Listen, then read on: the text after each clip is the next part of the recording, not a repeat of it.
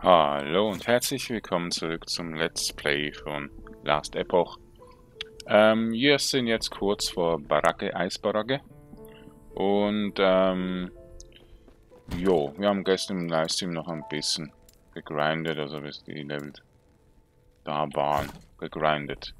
Die blöde Quest hier gemacht mit, den, mit dem College. Und jetzt gehen wir kurz noch in das Portal, um zwei äh, Slots zu bekommen für äh, die Idole. Und das ist hier oben. Ja, ich war ja in letzter Ta äh, Part ein bisschen enttäuscht vom Patch gewesen. Mittlerweile ist es wieder ein bisschen besser geworden, aber es ist immer noch trotzdem ein bisschen blöde zu spielen. Also, ähm, ja, Balancing ist ein bisschen schlecht. Also immer noch schlecht, ja, noch schlechter geworden. Und ähm, ja, vor allem die Mana-Kosten und so, die Items. Ihr kennt ja die Sache mit dem Giftschaden, das haben sie immer noch nicht gefixt. Es kommt auch noch dazu, dass es zu, immer noch, die Gegner immer noch zu viel Weltschaden machen in dieser Phase von der Kampagne. Es ist einfach, ja, sie kümmern sich null um das Balancing. Sie haben viele Builds, die overpowered sind, nicht genervt. Sie kümmern sich null um die Balance. Was sie machen, sind die, ist die Grafik ein bisschen zu verbessern, ein bisschen ja die Gebiete zu verbessern und ja eine neue Kampagne, also einen neuen Akt einzubauen. Mehr nicht. Hm. Das finde ich halt ein bisschen doof, weil sie hätten so ein gutes Spiel machen können mit Patch 0.7.8 viel bereinigen können, haben es nicht gemacht und ich bin ein bisschen enttäuscht. Aber jetzt schauen wir mal Eisbarage an und vielleicht bin ich dann wieder ein weniger enttäuscht. Aber es ist halt einfach eine Schweinerei, wenn Fans nicht geholfen werden, indem sie einfach mal ein bisschen etwas balancieren oder ja ändern. Also ja, sind wieder nur noch wenige neue Unix reingekommen. Das ist halt echt doof. Komme ich jetzt endlich diesen Level Up für den Skill Ice Nova über? Also, das muss ich jetzt unbedingt schauen. Ähm, ganz wenig noch, okay. Das nervt, wenn jetzt immer so lange geht und ich zu, zu hohe Mana-Kosten habe. So mega lange. Das ist schon ein bisschen komisch im Spiel. Ähm, weißt du, alles braucht dann viel, viel mehr Mana und sie geben das Mana irgendwie nicht zurück, die Kosten. Sie erhöhen auch nicht das Mana pro Level oder so. Das ist so nervig, wenn man einfach irgendwann mal feststeckt, weil man zu viel Mana verbraucht. wenn man es nicht weiß, dass es irgendwie anders skaliert ist. Also, ich mache zwei Mana plus, zwei Mana minus und trotzdem habe ich mehr höhere Mana-Kosten als vorher. Das geht irgendwie gar nicht. Das müssen sie schreiben, oh, das gibt dann einen doppelten Skalierungsbonus, wenn du Plus Mana ähm, machst, oder dass, das Spell 2 Mana plus kostet. Aber nicht so, also Spell kostet viel mehr Mana irgendwie. Das ist so doof. Da, auch mehrere Nots gehen irgendwie nicht. Also Schaden steigert sich gar nicht so viel, wenn man jetzt zum Beispiel Schaden bekommt. Schaden vom Spell erhöht wird, tut sich das gar nicht so steigen. Ja, sicher. Genau. Spammt doch noch mehr. ja, mit so einem langsamen und Mana-Kosten hohes Kill ist es manchmal schwer, äh, einfach zu überleben, weil man irgendwie immer wieder zugespammt wird von vielen Space. Auch nicht die Defensive erhöhen kann, weil man so auf Unix ab Ding ist, ähm, abhängig ist, oder? Das ist alles ein bisschen, ja, das Spiel ist einfach noch in einem absoluten Beta-Status und nicht in einem Release-Status. Das ist einfach extrem.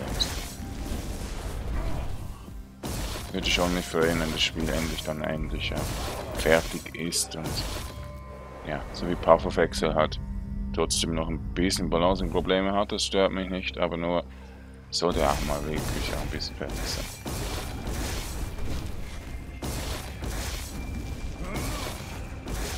irgendwie so, Beta Games ist jetzt irgendwie nicht mehr so meins.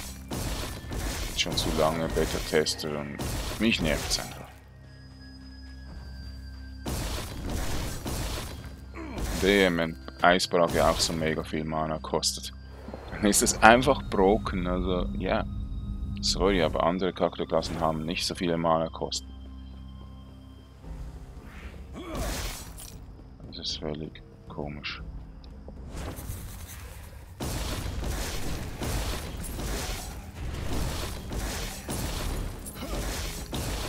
Weil der Eisbaum echt viel Mana kostet und die anderen Bäume irgendwie nicht, oder was?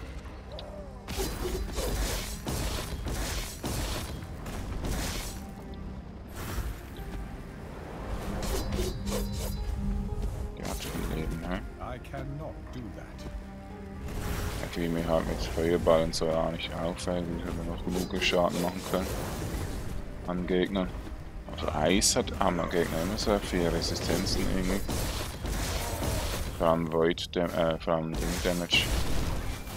Ähm, Necrotic Damage. Extrem viel. Minus bei Bossen und so, weil sie resistent sind. So, zwei Idol-Slots haben wir. Jetzt minus Mana nochmals. Nochmals halt. Ja. Ist schon viel besser. Aber immer noch zu wenig. Wir müssen nochmals einen Punkt einsetzen, noch mehr Gold Resi verlieren. Aber wir stacken ja Intelligenz. Geht schon.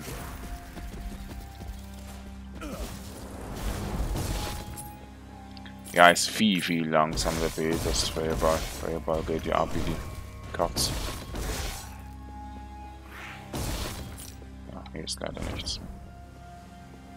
Gut, dann gehen wir wieder raus aus dieser, dieses Portal, damit wir hier links durch.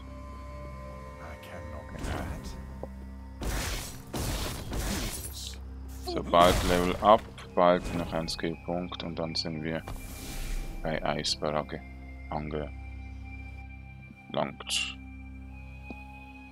Ja, bin gerade aufgewacht. Dachte, ich mache jetzt einen Part, lade ihn hoch und dann schaue ich mal wegen der Grafikkarte und so. Weil, ja, wird schon gehen mit dem Einladen. Gucken, ob dann der Page noch läuft oder ich alles neu machen muss. Denke nicht. Aber das ist so doof, dass, dass die Leute, also die Gra äh, Grafikkartenhersteller immer noch so ein schlechtes ähm, ja, Management haben, dass man wirklich verschiedene Grafikkarten, Sockel und so hat, also den, je nach Mainboard geht oder nicht geht. Das ist immer die Frage. Wieso machen denn das Entwickler so? Können die nicht einfach Grafikkarten bauen, die die gleichen Lüfter brauchen? Nee, das muss natürlich immer eine gute Grafikkarte sein, die noch größere Lüfter braucht und alles mögliche. Ja, mal weniger Grafikkarten herstellen, liebe Entwickler von Grafikkarten. Nicht sein, dass man so abhängig ist von Technikern und alles mögliche. Dass man das nicht automatisch kann. Also, ja, selber kann einfach relativ automatisch auch geht. Fragezeichen.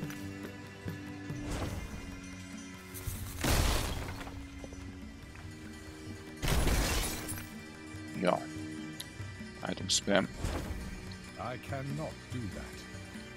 So, das werden wir hoffentlich auch noch schaffen.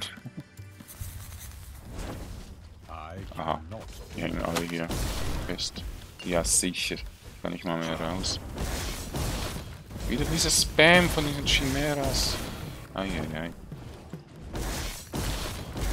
Ja, nur durch diese Spiegelbilder sind jetzt alle auf einem Pulk. Dankeschön. Eieiei. Das Spiel hat so starke Probleme mit KI. Das ist leider schon nervig, wenn man jetzt hier einfach wieder Pulk-Probleme hat und die Gegner zu stark sind. Zu viel gespammt werden ständig. Tja. Eben, die Entwickler machen sich halt einen Scheiß darum, mal etwas zu balancieren. Und ja, jetzt... Ah, Mann, wieder die Mana-Kosten. Gab's ja nicht. Hat so ausgesehen, als würde es reichen, aber nein, er bekommt weniger Schaden, wenn er Lowlife ist. So, aber 28. Also dieser Patch ist bis jetzt der schlechteste, habe ich so das Gefühl. Einfach weil alles ein bisschen außer Kontrolle ist. Okay, es fehlt noch eine. Also wir müssen dann noch ein Level machen, aber das geht ja schnell. Sehe ich gerade. Es ist sehr schlecht zu erkennen, dass da drin, es geht wie diese Balken, wie viel man jetzt noch braucht und so weiter. Ja, noch einen fehlt, glaube ich. Genau, noch ein, ein Level fehlt. Aber wir müssen sowieso Great College of Valley noch machen.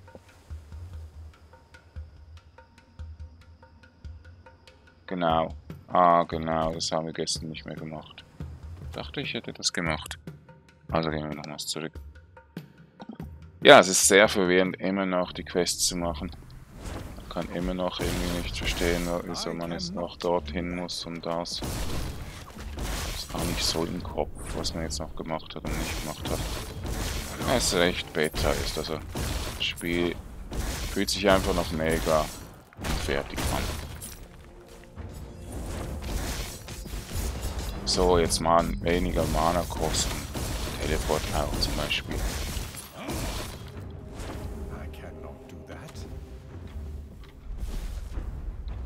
Unbedingt Board jetzt den Bad noch machen. Spamt nicht immer so viele Kirama. Mehr raus. oh Gott. Wann werden die Gegner mal genervt, ey? Unglaublich, einfach weniger schon geschossen.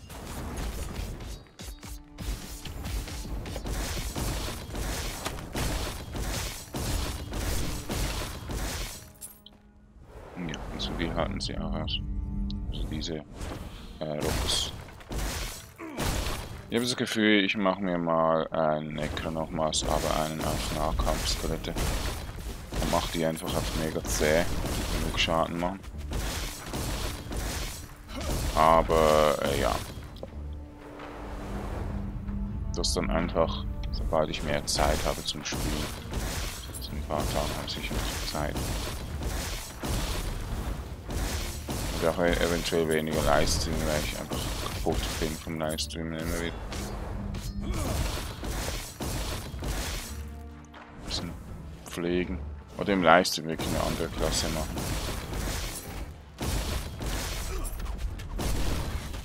Ja.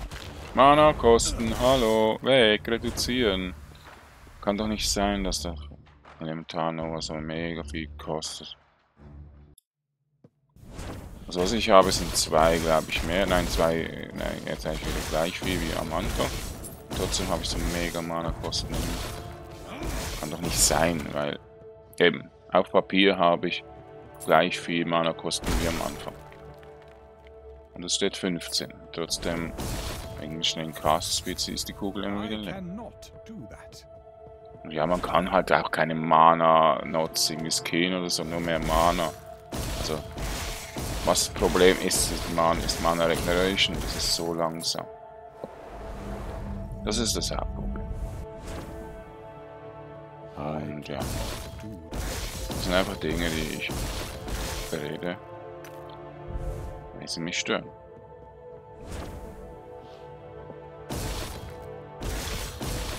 Ich denke auch deshalb wird ein bisschen weniger gelivestreamt, dieses Spiel.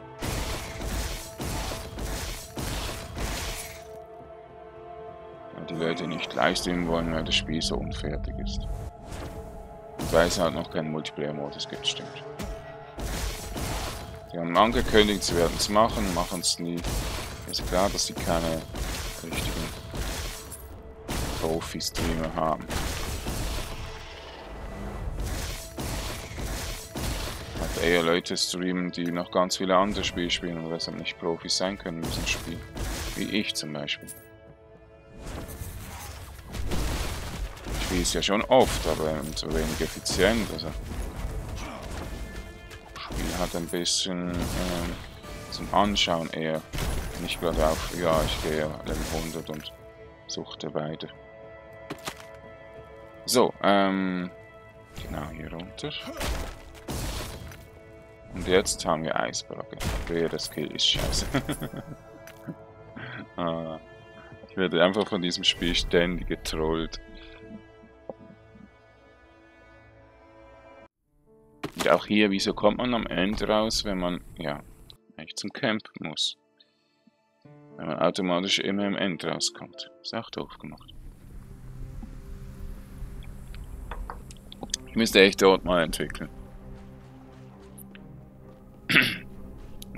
zeigen, was, was Game Design heißt. ne, es ist ja schon ein super Spiel, aber ey, es, es nervt einfach so schlechte Sachen drin zu haben. Da machen es andere Games wie zum Beispiel ähm, ja, Grim Dawn und so schon von Anfang an viel besser. Grim Dawn hat ja auch schon sehr viele Jahre hinter sich. Vier, glaube ich, oder so. Seit der erst, also der ersten Pre-Alpha oder was das war damals.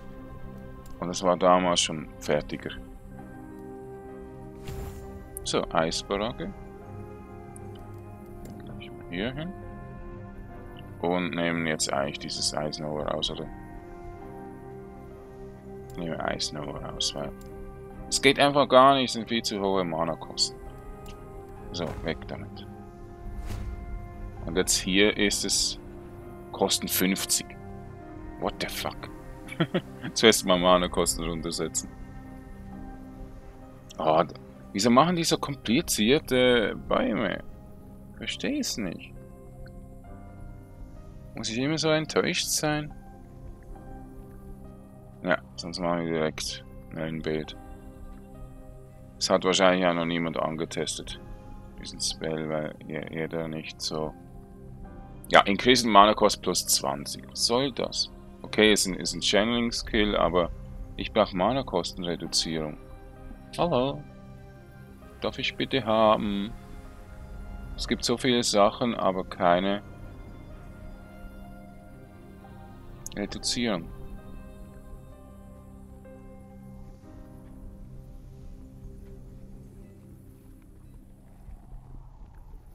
Da, da werden wir reduziert auf Maximum 10 Stacks. Wie viel haben wir jetzt?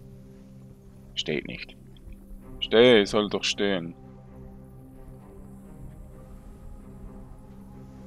Also sie curven und kurven den ersten Gegner nur. Naja. Movement Speed, äh, will ich nicht haben. Reduzierung. Cool dann eventuell machen.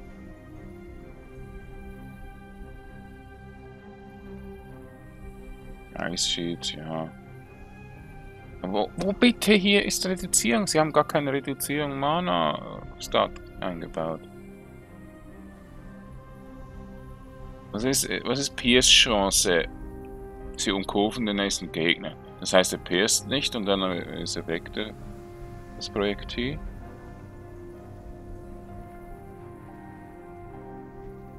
Wir müssen eventuell hier hoch irgendwie.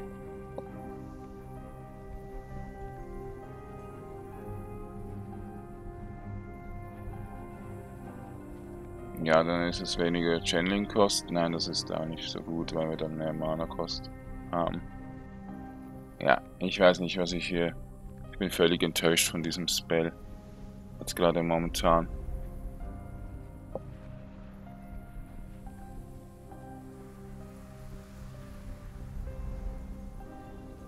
Ja, noch mehr Mana-Kosten. Okay. Ja, völlig eh nicht, nicht balanciert.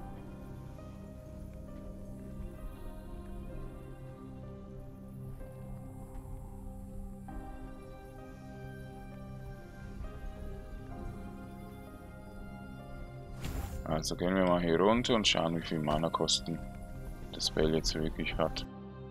Sonst habe ich keine Ahnung, was ich hier jetzt mit diesem Skill anfangen soll. Man hat doch nicht so viele Mana, dass man den, den Spam, Spam kann. Und wieso ist der falsche Skill jetzt hier unten? Also immer noch der Skill und nicht der andere. Okay. Noch zu wenig Damage. Ja, und sehr langsam. Ist viel zu langsam. Ja. Bin sehr enttäuscht vom Skill. Ah, und man muss nicht drauf bleiben. Ist ein, ist ein Spell der andere, äh, ja, unterstützt. Also sollte eine Art Winter Orb von Path of Exile sein und schießt nur in eine Gegenrichtung. Naja. Was soll ich mal dazu sagen? Müsste eventuell piercen. Aber irgendwie, ja, gefällt er mir nicht so. Ähm, ich wollte ihn anschauen, weil es sah gut aus. Aber eben, ist irgendwie nicht so meins. Da muss man wieder so tolle Items haben, scheinbar. Man muss jetzt auch irgendwie, irgendwie umhelfen, weil er immer nur in eine Richtung schießt. Hm. Ja, eigentlich ist er schon ziemlich stark. Nur eben, er schießt immer nur in eine Richtung. Und man muss draufbleiben scheinbar, wenn man jetzt die Richtung ist.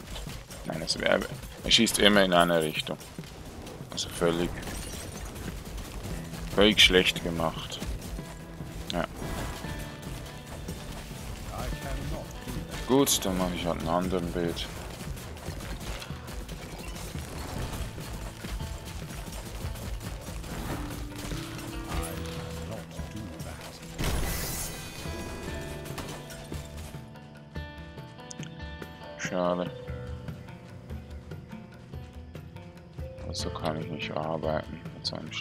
Spell.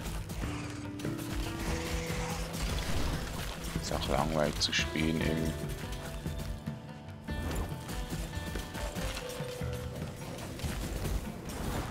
Okay, einfach jetzt momentan, ihr dürft gerne Feedback geben über diesen Spell, wie ich ihn am besten auch einsetzen soll, ein bisschen Hilfe. Ja, aber er ist er wurde eigentlich nicht verbessert, er wurde einfach mit einem Skill-Tree-Ding, also... Ja, wurde schon ein bisschen verbessert, optisch und so. Aber jetzt nicht effizienter gemacht. Und das ist das größte Problem. Jetzt versuche ich es mal an einem Necromancer nochmals. Da habe ich einfach auch am meisten Items. Und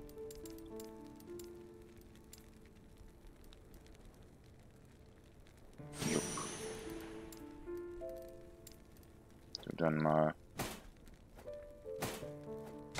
zuerst ein paar Sachen dann wechseln, aber zuerst mal die Items hier wechseln.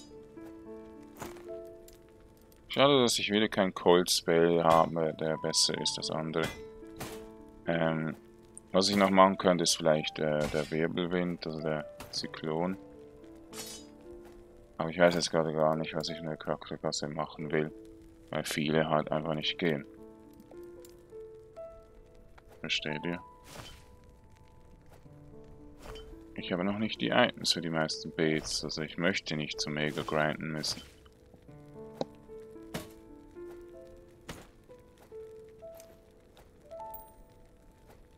Ja, man wird halt immer wieder enttäuscht. Vom Spiel. Es ist eben mir langsam ein bisschen nervig, dass viele immer wieder nicht gehen. Man Builds nicht spielen kann, weil es nicht balanciert ist. Jetzt müssen wir aber kurz runter zum ähm, Necrodrago Basel, glaube ich, der hat die Items. Jetzt haben wir ja viel mehr Items auch. Äh, also Platz im Lager für Items. Und umbenennen können wir die Platz auch. Genau.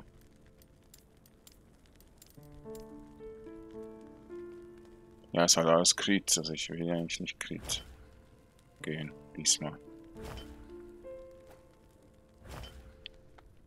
Ja, Feuer brauchen wir auch nicht. Wenn das das da noch. So.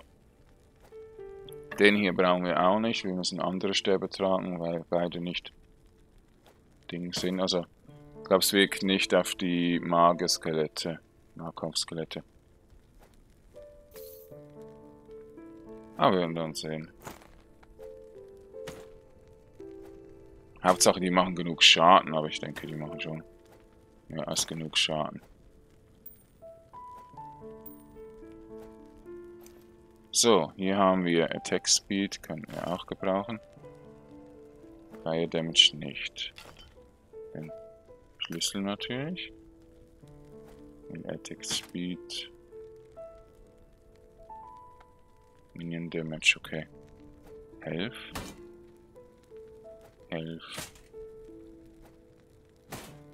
Ja, da haben wir einfach mehrere andere Items, die wir gebrauchen könnten. Falls wir dann einen anderen Charakter, eine andere Klasse nehmen können. Gut. Machen wir gleich mal noch kurz den Charakter und gehen ins Lager. Kann ich euch noch kurz ein paar Space zeigen, die ich nutzen möchte.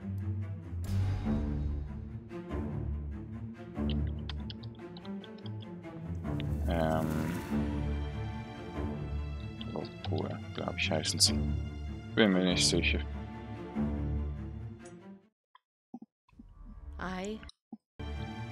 Also bei, beim Mage-Ding heißen sie, glaube ich, anders. Da heißen sie irgendwie. Also, Rocke sind nur die Nahkampfskelette.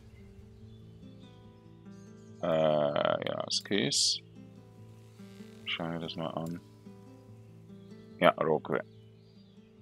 Und bei Magier, die haben wir nicht. Magier müssen wir noch gleich spielen. Es geht jetzt auch wieder ein bisschen länger, bis wir die Magier haben, denke ich mal.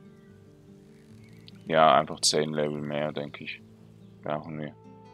Also 10 Skillpunkte mehr. Aber die haben dann auch noch ziemlich schnelle Skelette im Nahkampf. Mache ich einfach diese Skillung dort unten rechts.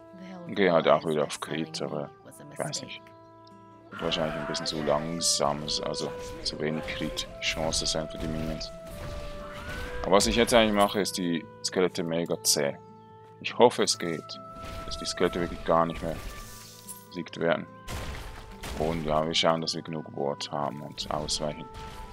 Dann geht's. Also wenn wir viel Ausweichen bekommen, dann geht es eigentlich mit den äh, mit der Defensive. Aber ich glaube, ausweichen kann man nicht über 100, also nur etwa 70% oder so erreichen. Das ist irgendwie ein bisschen geblockt.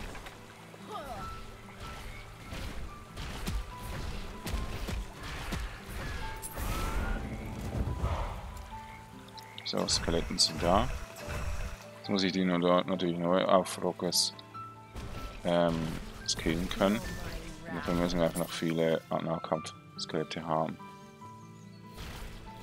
Ja, es ist ein bisschen doof gemacht, dass Rockers viel weniger sind dann. Dass es einfach mehr kostet, die wegzumachen. Darum habe ich es jetzt auch noch nie so richtig angetestet. Sonst machen wir einfach so Nahkampfskelette später dann äh, die Robles. Die Nahkampfskelette sind ja auch stark. Und die machen zuerst Rocke, einen Rocke und danach die Nahkampfskelette weg. Ich weiß nicht. Ja doch, zuerst Nahkampfskelette, dann haben wir mehr Skelette. Genau. Also. Ich teste nur noch aus und spiele dann im Livestream weiter. Die sind wild. Ich spiele